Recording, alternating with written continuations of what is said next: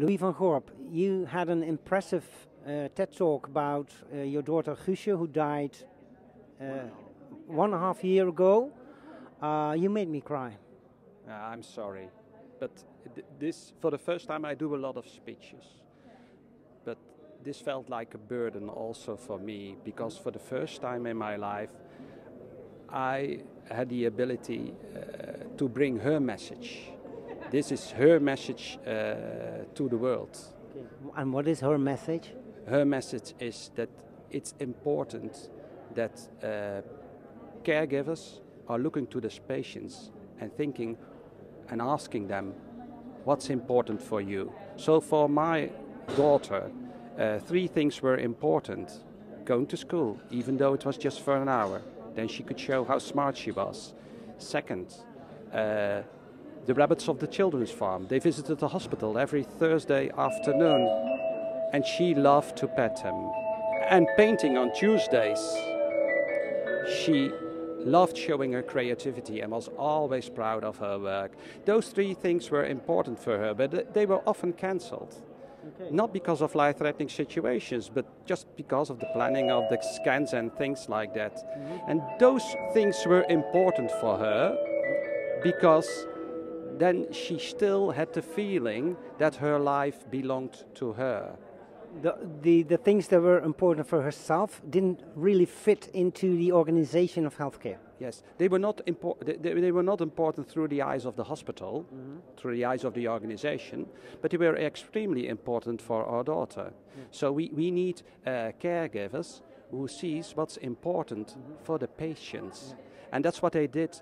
Uh, as I was, was talking uh, during my TED.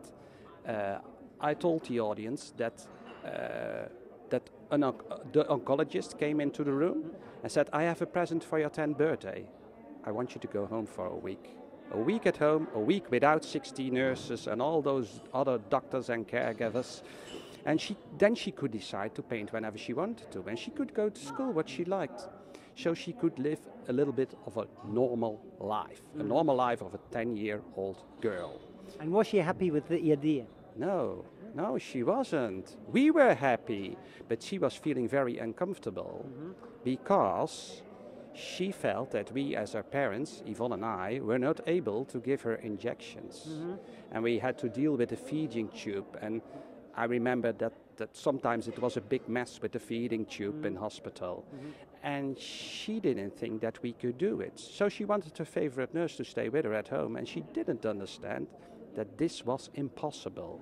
Now, there were two nurses who noticed her uncomfortable feeling, and they started to train my wife and me in giving injections.